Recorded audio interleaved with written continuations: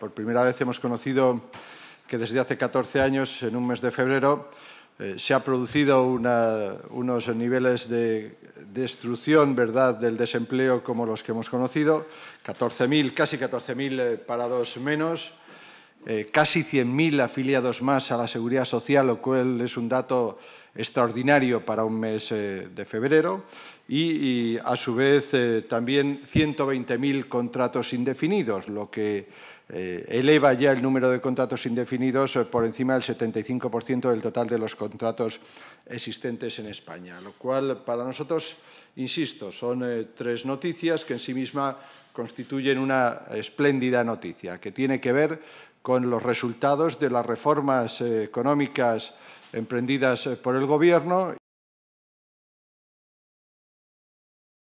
donde no se, no se hacen reformas los resultados no son los mismos. Y también en España, desgraciadamente, hemos conocido datos, una vez más, que inciden en la existencia de eh, no reformas por parte de algunos. Y eso tiene consecuencias también en algunos eh, territorios, como está sucediendo desgraciadamente en Andalucía. Hoy hemos conocido que el paro, pues, eh, lejos de bajar en Andalucía, ha subido. Y esto no es un buen dato. Pero esto tiene que ver con políticas, eh, en este caso en Andalucía con la falta de políticas, con la falta de reformas, con el colapso de la Junta de Andalucía, que está pendiente, más eh, pendiente, ¿verdad?, de aprovechar el oportunismo electoral que de otras eh, cosas. Y al final esto lo pagan en forma de paro los ciudadanos.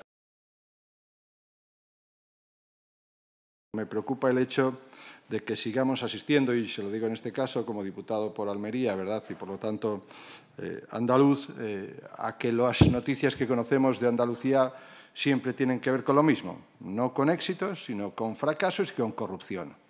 Y esto es eh, gravísimo. Y yo exijo en este momento que la señora Díaz salga de una vez por todas a dar explicaciones de todo esto que estamos conociendo.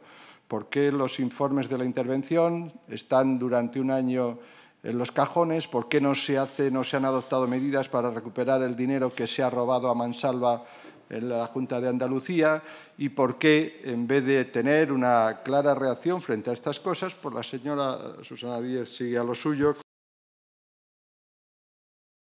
Las promesas electorales, eh, cuando se hacen, pues se tienen que cumplir eh, con el dinero propio, no con el dinero de los socios europeos. ¿no? A mí me parece que este fin de semana pues el señor Sipras hizo unas acusaciones eh, graves contra el gobierno español. Además me parecen injustas, impropias de, de un socio al que hemos ayudado, al que los españoles han ayudado. Y yo lo que le pediría al gobierno griego es que, bueno, entiendo cuál es su frustración, la entiendo perfectamente, pero que arregle las cosas.